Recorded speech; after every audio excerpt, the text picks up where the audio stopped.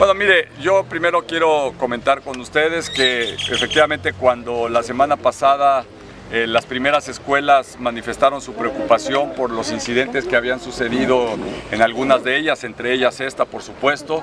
E inmediatamente el señor gobernador, en coordinación, por supuesto, con las fuerzas federales, a quien de verdad agradecemos enormemente eh, su, su contribución y sin ellos no sería posible llevar a cabo un operativo de esta naturaleza.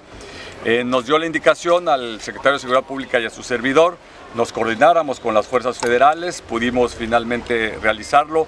Hoy es un hecho, estamos aquí. Es un operativo que será llevado a cabo en 10 rutas, no nada más en esta zona de la Zapata y de Renacimiento, sino en estrecha coordinación lo llevaremos a cabo conjuntamente con la Policía Federal Preventiva, la Gendarmería, por supuesto, eh, la Marina y el Ejército. Entonces, principalmente la Gendarmería y la, Policía Federal Preventiva son los que iniciaremos con este operativo el día de hoy y le insisto, son 10 este, rutas que están trazadas, no nada más en esta zona, sino en todo Acapulco.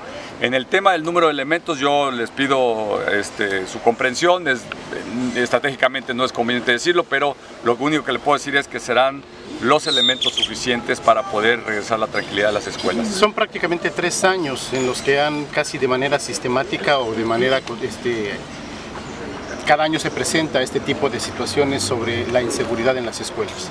Eh, bueno, yo lo que le puedo decir es que tiene que ver mucho con esta época. Eh, sin duda coincide con el tema del aguinaldo.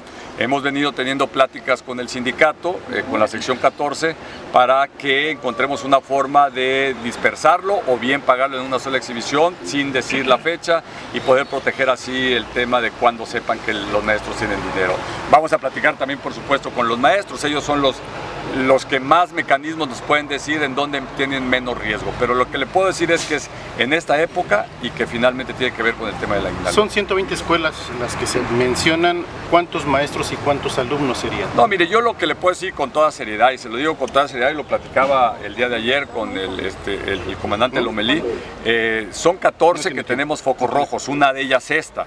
Son 14 que tenemos los focos rojos. El resto de las escuelas son escuelas que nos han dicho, bueno, oiga, pues ojalá pudieran venir porque creo que sí, este, hay algunas personas afuera, este, sí, probablemente ya nos dijeron que nos van a amenazar. Lo digo con mucha seriedad y mucho respeto. Entonces, yo no quisiera alarmar, pero tampoco lo estamos este, minimizando ni subestimando. Tan es así que hoy iniciamos, como fue el compromiso, un operativo eficaz, como normalmente lo hace la... Este, la, Policía Federal Preventiva y la Gendarmería.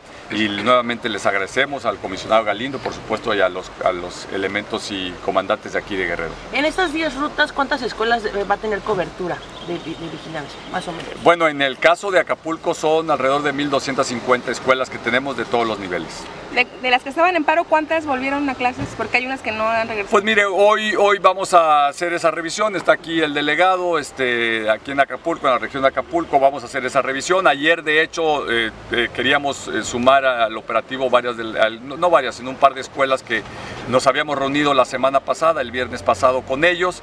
Este, ellos dijeron que hasta que no vieran el operativo este, iniciarían clases. Bueno, pues los vamos a exhortar de que pues tampoco se pueden recargar en ese pretexto. Lo digo de veras con mucho respeto. Entonces, eh, el, día hoy estaremos, el día de hoy estaremos verificando para que ya cuando menos, no cuando menos, asegurándonos que el turno vespertino ya abra en esas escuelas también. ¿Usted considera que hay escuelas que se han sumado a este par de labores en solidaridad más que por un problema de inseguridad? Yo, no quisiera, yo no quisiera. Este es un asunto demasiado serio, el tema de la seguridad es un tema demasiado serio, no corresponde al sector educativo.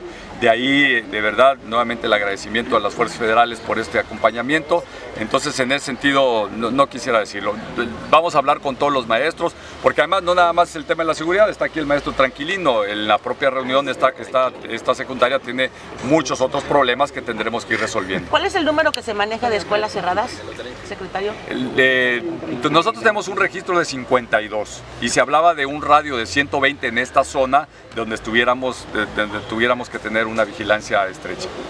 Pero 52, perdón, 52 que habían sido cerradas hasta el viernes. ¿Hay tiempo límite del operativo? ¿Hasta cuándo va a estar? Pues mire, cuando menos eh, eh, lo vamos a platicar con las fuerzas federales, pero en, coordinación con ellos y haciendo eh, un análisis con ellos, es, es lo vamos a llevar a cabo hasta el 18 de diciembre que haya vacaciones.